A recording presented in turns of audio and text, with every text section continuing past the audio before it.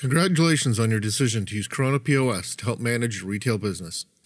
I'm going to help you get started with this series of short videos. First off, you're probably watching this video because you signed up for the free trial of our point of sale software. If you haven't already, head over to koronapos.com and click on the Try Korona button. Fill out the form and you'll be well on your way to using the easiest and most reliable POS solution available.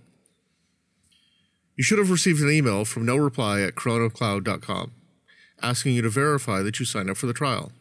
If you didn't, check in your spam folder. It could be in there. Click the link and you'll be logged into Korona for the first time. You'll be asked a few details, such as the size of your store and contact information. Your store name, address, and phone number will automatically be added to the header of your receipt. During this process, you will receive another email with a temporary password. I recommend you copying and pasting this password as it is case sensitive. Follow the link in the email, enter your email address and password, and click Login. To change your password, hover your mouse over the Welcome button on the top right of the window, then click on My User Account. Enter your old password, and then a new one twice. Your new password must have at least nine digits, one capital and one lowercase letter, and one number. After the initial configuration, you'll be directed to your dashboard.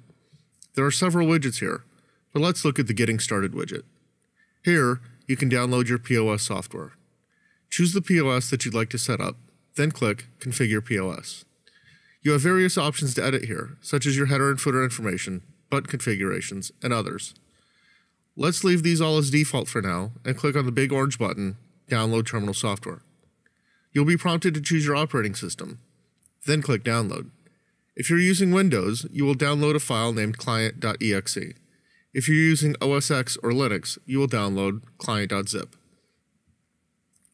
Windows users, simply execute the client.exe file on the computer you would like to use as your point of sale terminal and follow the setup. You may get some warnings from Windows asking if you're sure that you want to install the software. Click Yes or Allow. After the setup is complete, the POS application will start automatically.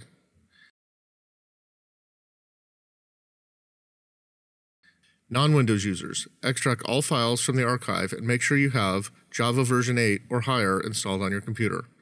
Then navigate to the bin folder and execute korona client.jar. After starting the software for the first time, you will likely get to a login screen which is used to pair your POS to a Korona POS cloud account.